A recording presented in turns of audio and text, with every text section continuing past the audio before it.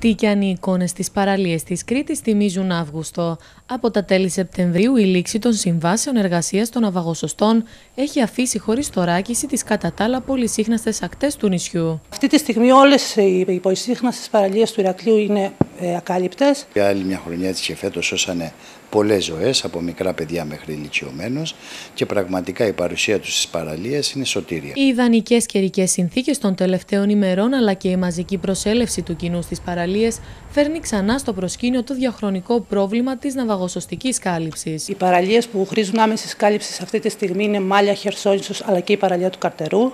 Ζητάμε από, τη, από τους Δήμους να δουν το θέμα. Να συμπεριληφθεί και ο ολόκληρο Οκτώβρης, γιατί είναι ένα μήνας που λόγω, ειδικά εδώ πέρα στην Κρήτη, το καλοκαίρι συνεσίζεται και πολλοί λουόμενοι θέλουν να κάνουν τα μπάνια τους. Οπότε πρέπει να την κάνουν υπό προστασία του ναυαγοσώστη. Φαίνεται πως το θέρος αγαπάει την Κρήτη, αφού παρά το γεγονός ότι διανύουμε ήδη τις πρώτες μέρες του Οκτωβρίου, οι υψηλές θερμοκρασίες που επικρατούν παραπέμπουν σε άκρος καλοκαιρινό σκηνικό.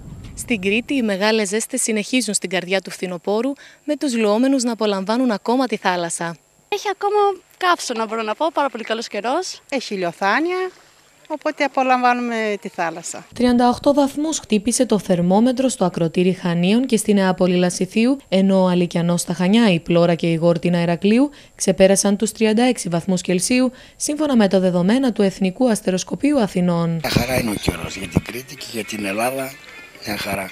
Ο καιρός είναι καλός, είναι ήρεμος, ο κόσμος όταν μπορεί για τη σήμερα Δευτέρα και δουλεύει, έρχεται και ξεκουράζεται και ξεχνά τα προβλήματά του οι παραλίες.